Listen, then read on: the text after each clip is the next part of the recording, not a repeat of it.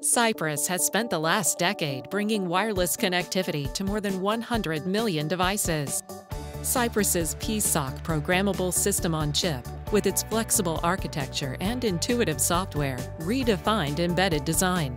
There's a reason PSoC is found in nearly 2 billion devices worldwide. Cypress's Sonos technology streamlines the manufacturing process for flash-based programmable embedded products, allowing us to produce high volumes and small package devices.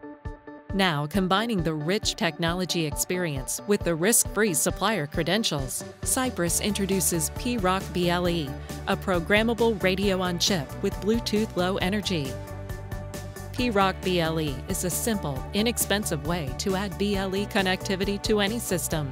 It also provides a turnkey solution for HIDs, remote controls, and toys. PRoC BLE is powered by an ARM Cortex M0 core. It features up to 128 kilobytes of flash and 16 kilobytes of SRAM. The 2.4 GHz Bluetooth Low Energy radio has an integrated Balun, the device also integrates Cypress's industry-leading CapSense technology. As the industry's user-friendly Bluetooth low-energy solution, PRoC BLE offers multiple advantages. Included with PRoC BLE is PSoC Creator, a fully integrated design environment that performs as a single tool to configure, develop, program, and test Bluetooth low-energy applications.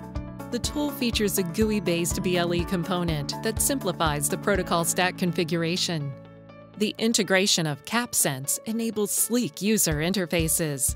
Designers will notice they no longer have to use separate ICs for touch sensing and Bluetooth Low Energy connectivity. Another unique feature of Cypress's PRoC chip is Balun integration that simplifies RF board design. Finally, PRoC BLE offers five flexible power modes for extended battery life. Cypress offers engineers a portfolio of development kits to accelerate time to market, including turnkey solutions for a wireless touch mouse and a remote control design.